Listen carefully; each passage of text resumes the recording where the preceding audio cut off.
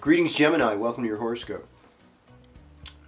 So Aries time is a good time for you to socialize. It's a good time for you to meet people. It's a good time for you to do planning for the future.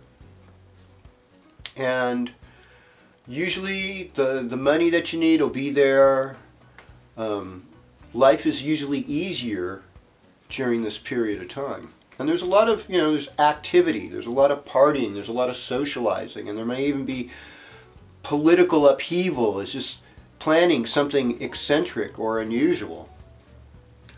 I mean, I have to hand it. I mean, I, have to hand it to the to the Republicans right now. My God, I'm not a Democrat. I'm not a Republican either. I wouldn't, you know. I, I mean, I don't.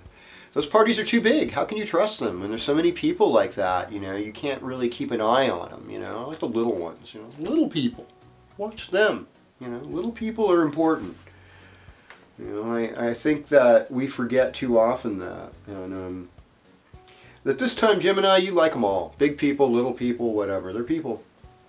Well, let's say you've had some, you know, clandestine love affair or something from a party or something. I mean, there could be karma from this. Venus and Mars moving into your 12th house.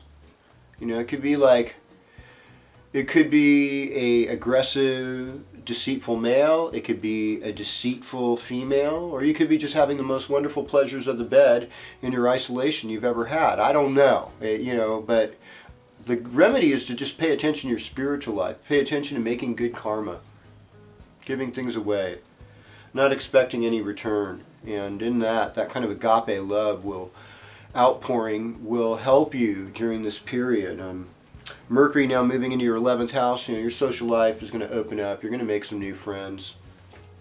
It's got to be fun to be you.